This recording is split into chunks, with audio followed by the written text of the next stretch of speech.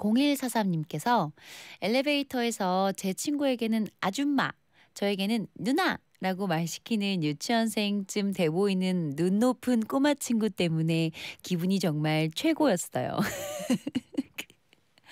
아, 곤란하면서도 쾌감 터지는 그 기분 알죠, 알죠.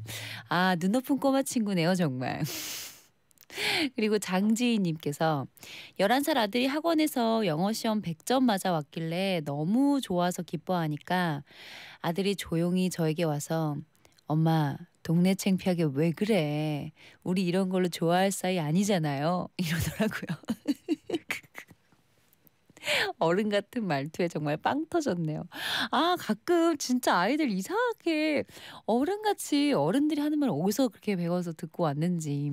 저희 다섯 살 된 큰 아이는요. 만들기를 제가 너무 잘하길래 어젯밤에 어머 어머 우리 하은이 만들기 진짜 잘한다 그랬더니 저한테 별 말씀을 이러는 거예요. 혼자서 방바닥을 대굴대굴 굴러다녔어요. 아 엄마 동네 창피하게 왜 그래? 이건 너무 귀엽다.